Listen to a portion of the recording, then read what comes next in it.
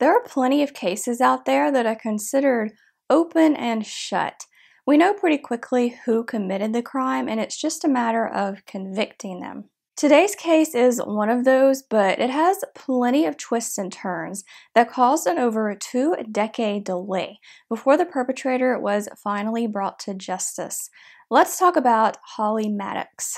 Helen Maddux, or Holly, was born on May 26, 1947, in Tyler, Texas, the first child of mother Elizabeth, a homemaker, and father Fred, an engineer and World War II veteran. Holly would later be joined by sisters Mary, Meg, and Elizabeth, or Buffy, and brother John. Growing up, Holly was described as a beautiful blonde with an almost ethereal beauty and a mesmerizing elegance, but also not vain or egotistical. One of Holly's sisters described her as giving and loving. As a teenager, Holly did well in school, enjoyed art and dance, and was a cheerleader. She was voted most likely to succeed in high school, though I'm not sure which year. She was also salutatorian of her graduating class in 1965. Both Holly's family and the town of Tyler have been described as conservative by various sources.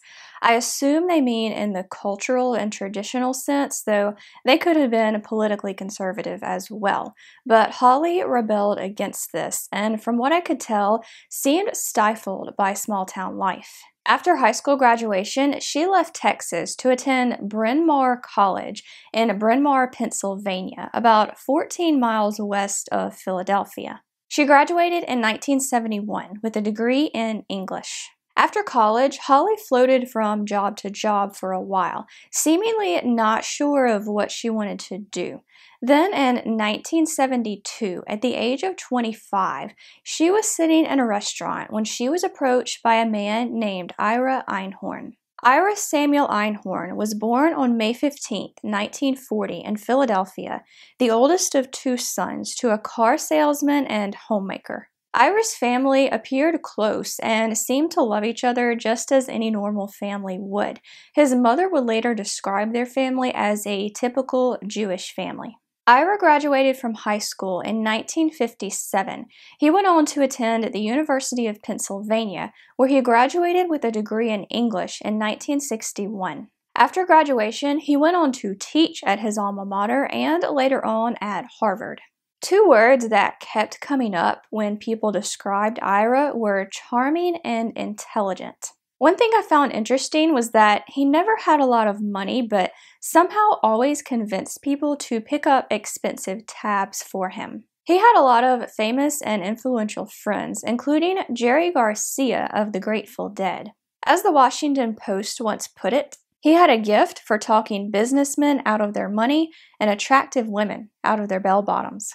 On the subject of women, Ira claimed to have thousands of lovers. As an acquaintance of his, Harry J. Katz, would later put it, guys never asked girls what they thought about politics or poetry. Ira did. He feigned that he cared. Much like Holly Maddux, Ira Einhorn was no fan of 1960s conservatism. He protested against the Vietnam War and even ran for mayor at one point. He was also heavily involved in environmentalism, with a 1978 write up in the Harvard Crimson calling him an early activist in the solar energy and ecology movements. A lot of Ira's behavior could also be described as that of a stereotypical hippie. He did a lot of drugs, namely acid and LSD. One report said that while teaching at the University of Pennsylvania, he stripped naked and brought out joints in class. He also had a reputation for smelling bad. He spent a lot of time in the bathtub, so it wasn't for lack of regular cleaning, but he also refused to wash his clothes. Apparently, the smell was part of his persona, and he thought he was too mystic to regularly bathe, whatever that means. Despite his reputation for not smelling good, Ira was well known and liked in the intellectual circles of Philadelphia in the 1960s and 70s. And one day in 1972, he saw a beautiful blonde at a restaurant he frequented and just had to approach her.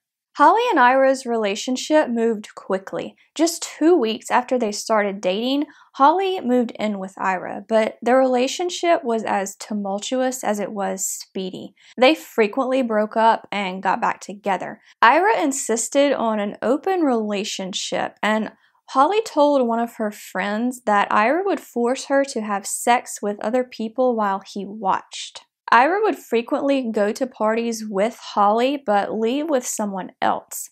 There was also physical abuse involved.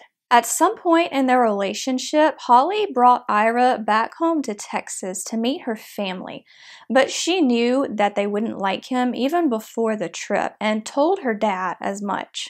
Sure enough, Ira didn't exactly make the best impression on the Madduxes. During the prayer before a family meal, Ira picked at sores on his body. He ate ravenously during the meal and, after it was done, put his feet on the table. Holly's brother John said Ira was too dominating over Holly. Her sister Buffy said he was a slob and obnoxious. She also claimed he made romantic gestures at her. Despite all this, Holly and Ira kept up their on again, off again relationship for five years. In the late summer or early fall of 1977, they went on vacation together in London, using money that Holly had saved up. They were later joined there by Buffy, and Holly told her sister that she planned on leaving Ira once they returned to the US. Buffy would be the last family member to see Holly. Holly ended up leaving Ira alone during their trip and returned to the US. She rented an apartment in New York and even cut her hair, something a lot of women do after breakups, though they weren't technically broken up yet. Over Labor Day weekend, she started seeing a new man named Saul Lapidus. She soon broke things off with Ira for good, and he wasn't happy about it. On September 9th, 1977, Holly was on Saul's boat when she got a phone call from Ira. He had gathered up her things that were still left at his apartment and threatened to throw them in the street if she didn't come get them. Holly called a few people to see if they could pick up her things for her, but nobody could. Saul didn't want her to go back to Ira's apartment, and Holly didn't want to go back either, but she said she would get her things and come right back. Once she arrived at Ira's apartment, they went to a movie with another couple. After that, she wasn't seen again. Most people in Ira's social circle weren't too concerned about no longer seeing Holly. As Salon would later put it, when Holly Maddux, his delicately beautiful girlfriend of five years, disappeared in the fall of 1977, the transient college based community around her and Einhorn paid little attention. He had been the important member of that couple in any case, and his beautiful girlfriends were virtually interchangeable. But Holly's family didn't see it that way. After not receiving a card for her mom's birthday the following month, something Holly always sent, they contacted police in Philadelphia. Police were suspicious of Ira, but because he had such a good reputation in the community, it was difficult to get evidence on him. I assume people didn't want to talk. Members of Holly's family did ask Ira directly where she was. He said he didn't know and that she left to visit a local co op but had never returned. He also said he'd gotten a phone call from her a few days after she disappeared saying that she was fine. Ira also told Holly's mom at one point that she'd simply left him and was out traveling on her own. At another point, both he and one of Holly's friends claimed that Holly was at a commune in India, though Holly's friend claimed to have gotten this information from a medium. Despite their initial suspicion of Ira, police also eventually started to believe that Holly had left willingly. With little to go on, the Maddux family hired two private detectives, one from their hometown of Tyler and another from Philadelphia. And these detectives uncovered some pretty incriminating information.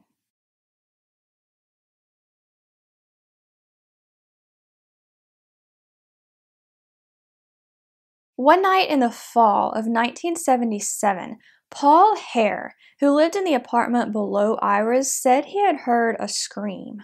At first, he didn't think much of it, since there were a lot of loud parties in the neighborhood. But then a brown liquid began leaking from the ceiling.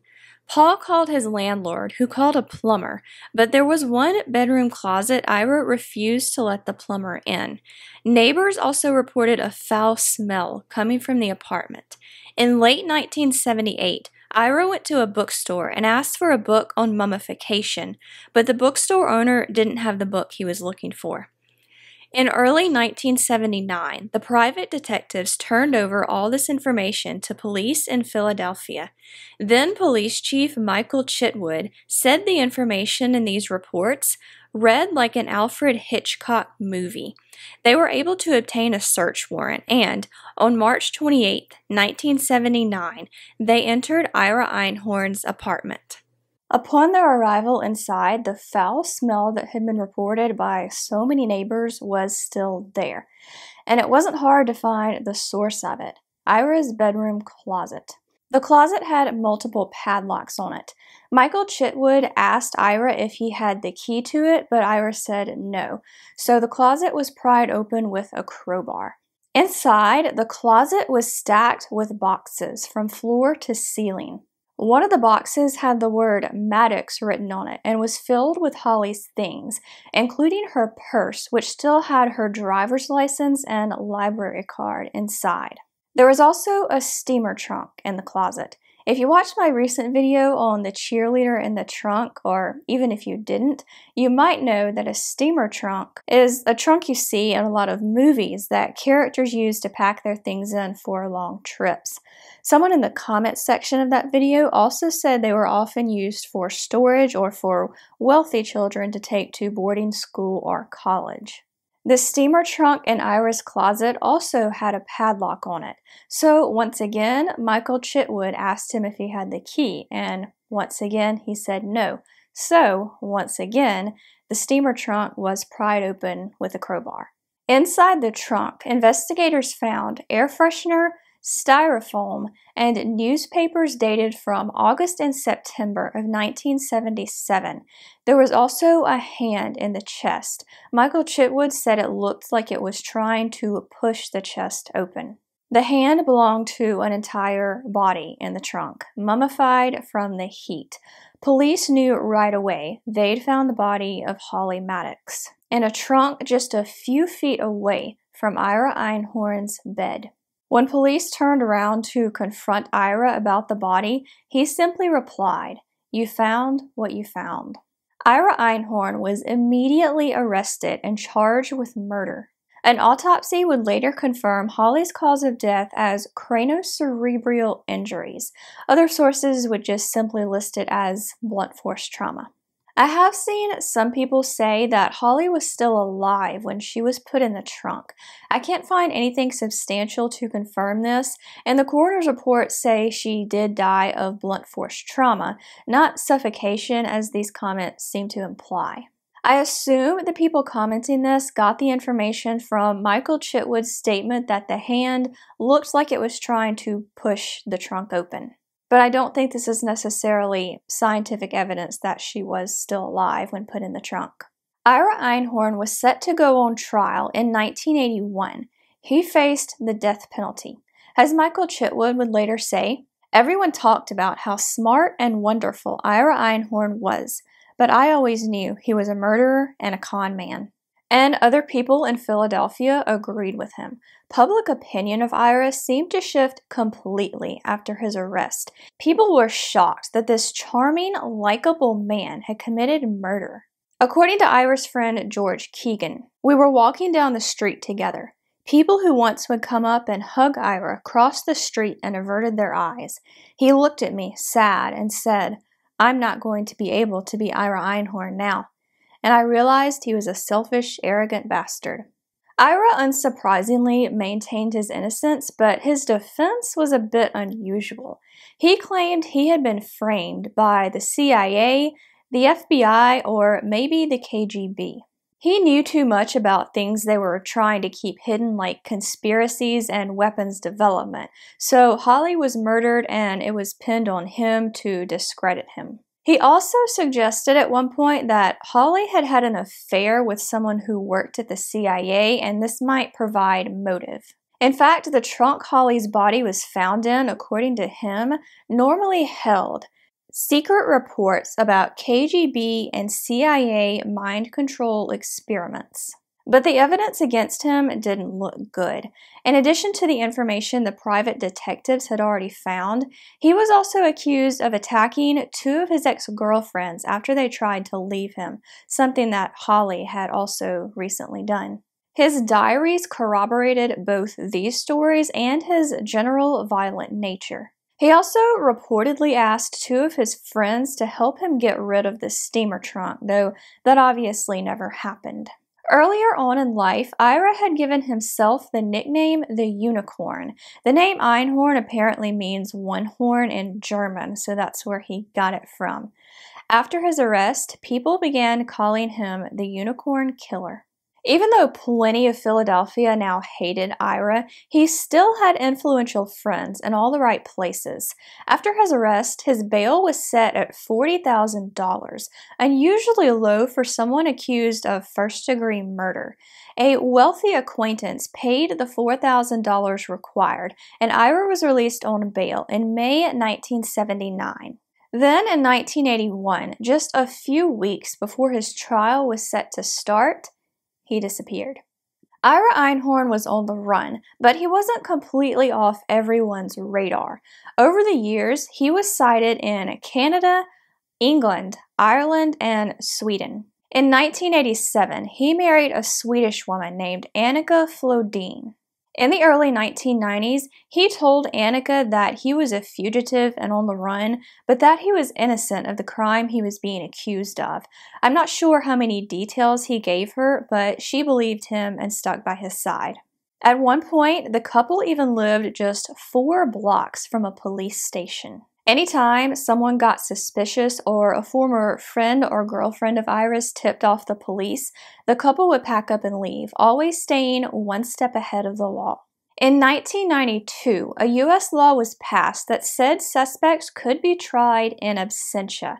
This is basically just what it sounds like. A suspect can be put on trial even if they're not physically present. The following year, Ira Einhorn went on trial for the murder of Holly Maddux, even though he wasn't present in the building. He was convicted and sentenced to life in prison. Meanwhile, Ira and Annika had settled in the village of Champagne Mouton in western France. I really hope I'm pronouncing that correctly. The couple bought a house that has been described by some sources as a farmhouse and others as a windmill or a converted windmill. Ira posed as a mystery writer from England named Eugene Mallon, an identity he'd stolen from a bookstore owner in Ireland who had helped him out previously. At one point, he had also used the alias Ben Moore, which he got from a brand of paint. While in France, Ira even protested a proposed nuclear facility in his area, staying true to his environmentalist roots. But one man in particular wasn't giving up on finding Ira Einhorn. Richard DiBenedetto was an investigator with the Philadelphia District Attorney's Office, I'm not sure if he still is, and was determined to track Ira down. He interviewed numerous friends and ex girlfriends of Ira who would give him Ira's location, but of course, Ira always stayed one step ahead of the law. At one point, DiBenedetto even talked to Eugene Mallon, the Irish bookstore owner who Ira had stolen the identity of, but Mallon refused to talk. The year Ira Einhorn escaped, DiBenedetto became a first time father. This gave him even more motivation to find Ira and get justice for Holly for her own parents. Unfortunately, they would never get to see Ira in custody. Fred Maddux took his own life in 1988, and his wife Elizabeth died of emphysema in 1990.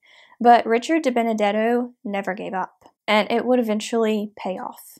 In May 1997, DiBenedetto got yet another tip off about Ira's whereabouts. Ira's wife, Annika, had applied for a French driver's license under the name Annika Flodin Mallon. De Benedetto, of course, recognized this last name Mallon, as the identity of the bookstore owner who had helped out Ira in the past. He figured he must have stolen his identity.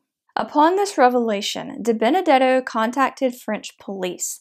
On the morning of June 13, 1997, they entered the couple's farmhouse slash windmill and found Ira asleep in bed. Despite giving his name as Eugene Mallon, Ira was immediately arrested and taken to a French prison. His identity was later confirmed through fingerprints.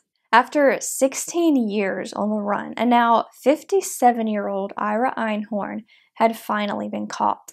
But getting Ira back to the US was anything but easy. In 1997, a French court ruled that Ira couldn't be extradited.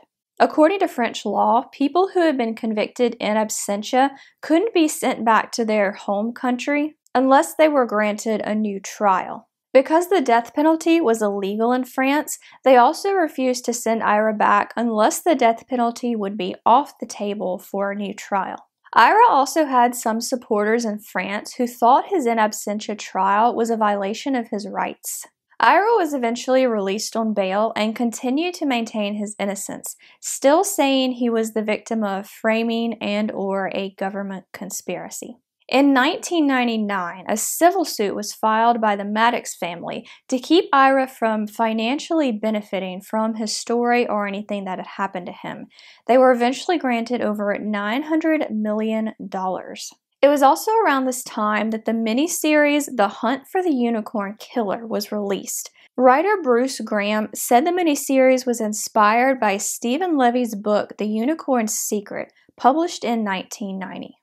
Surprisingly, Ira didn't flee this time. In July 1999, a French court ruled that he would be extradited back to the US to face a new trial. The night before he was set to leave, he slit his throat and requested to talk to reporters. This was apparently a suicide attempt, but he did survive. The next day, July 20th, 2001, he arrived back in the US. Ira's new trial began in September 2002. He still maintained his innocence, now saying he didn't know how Holly's body ended up in his apartment. His wife, Annika, who now went by Annika Einhorn, stuck by his side, but only metaphorically.